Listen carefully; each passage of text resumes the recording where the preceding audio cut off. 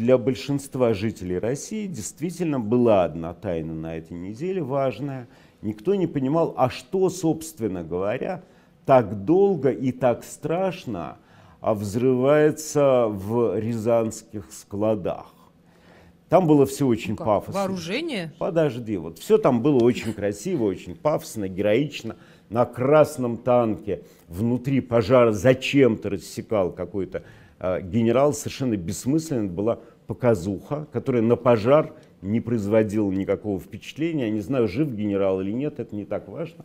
И, в общем, в этом не разберешься, потому что еще ни одному генералу отсутствие головы не мешало вести привычный образ жизни. Все это было еще предложено как а, этот красный танк преподнесен как подвиг, что тоже, в общем, нелогично, а чем еще, собственно, должен заниматься генерал. Его всю жизнь выпаивают коньячком, выкармливают телятинкой, чтобы и разрешают цеплять на одежду всякие блестящие предметы, чтобы в какой-то момент он где-нибудь бессмысленно, но красиво поносился бы на красном танке. Потому что больше они все равно ни на что не пригодны. Я полагаю, что вот там вот с такой ядерной невероятной силой рвалось в огне рязанских складов, я думаю, что это была колбаса.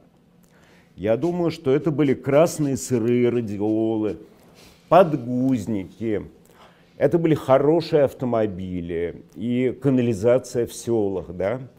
Там взрывалась красота и комфортность жизни, которую когда-то СССР принес в жертву очередному бесконечью бараков, набитых этим взрывающимся дерьмом. Вот тогда мир с жалостью смотрел а, как на душевно больных, на огромную страну, которая, изнуряя, унижая, разоряя свое население, продолжала клепать эту бессмысленную военную химеру.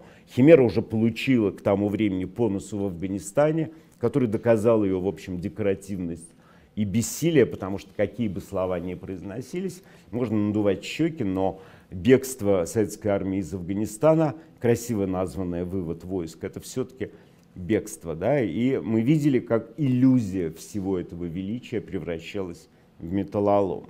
А когда-то этому металлолому в жертву были принесены там сотни миллионов судеб. Вот сейчас Россия, можно было бы наплевать и дать всем этим, я думаю, таких складов на территории страны штук 500 примерно, вот набитых всем этим говном, да, и можно было бы им дать сгореть но сейчас Россия старательно пытается повторить главную ошибку Советского Союза. Приносит благополучие и счастье людей в жертву величию государства.